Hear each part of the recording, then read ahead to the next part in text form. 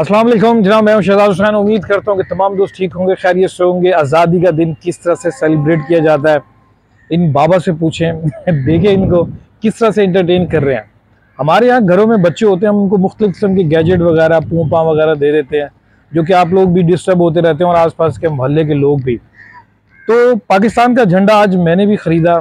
تو جیسے میں نے اس جھنڈے کو پکڑا، تو اس ٹائم جو ہے مجھے یہ احساس ہوا کہ اس کے جو رکھوالے ہیں، چاہے وہ ہمارے کھلاڑی ہوں چاہے ہمارے سیکورٹی اہلکار ہوں وہ کتنا فخر محسوس کرتے ہوں گے۔ مجھے بھی تھوڑی دیر کے لیے اس جھڈے کو جب میں فیل کیا، بڑے غور سے، فکر سے، تو مجھے لگا کہ یار یہ لوگ ایسے نہیں شہید ہو جاتے۔ کیونکہ اس جھنڈے کے ساتھ پیار ہی بہت ہے اور آپ کی آنکھیں تھوڑی سی نم ضرور ہو جائیں گی، کیونکہ جو جس طرح سے پاکستان کے حالات چل رہے ہوتے ہیں۔ تو جناب، پاکستان کے جھنڈے سے محبت کریں، یہی آپ کی پہچان ہے، پاکستان سے باہر۔ اور دوسری جگہ پہ آپ سیاسی پارٹیوں کو تو فالو کر رہے ہوتے ہیں۔ طریقے اس میں بھی بہت سارا تصاد ہوتا ہے۔ تو آزادی کا دن ہے جناب، اور ہمارا یہی کہنا ہے، تمام پاکستانیوں کا جتنے بھی جو پاکستان کے اندر ہیں، پاکستان کے باہر ہیں، تو جناب آپ تمام دوستوں کو آزادی کا دن بہت بہت مبارک ہو۔